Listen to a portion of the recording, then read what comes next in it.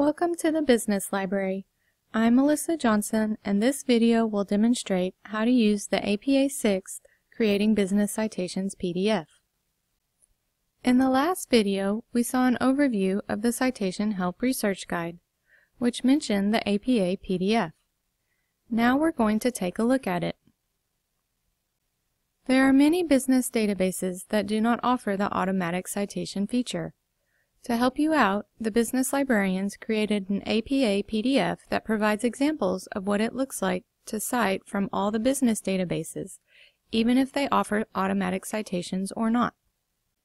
Here we see the APA 6 PDF. In addition to providing citation examples, this PDF also provides some helpful tips on how to cite in APA. You can find examples of in-text citations with short direct quotes,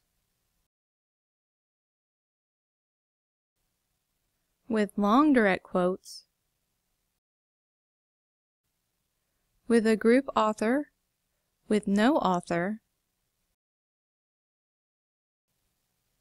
and how to format and style your reference list. If you aren't that familiar with how in-text citations work, take some time to review this part of the document.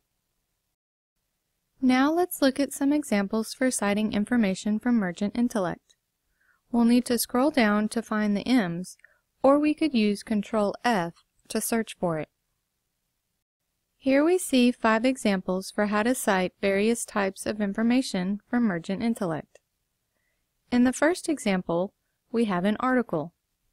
It follows the basic APA pattern of author, date, title, source or publication, and where it was retrieved from. The second example would be for an industry report. It uses a group author, first research, followed by the date.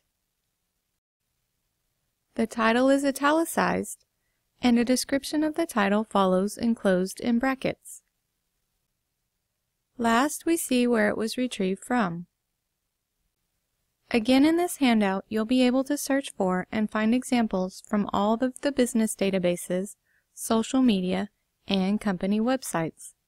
It's a helpful tool to remember for citing. As always, if you have any questions, please do not hesitate to contact your business library for more information.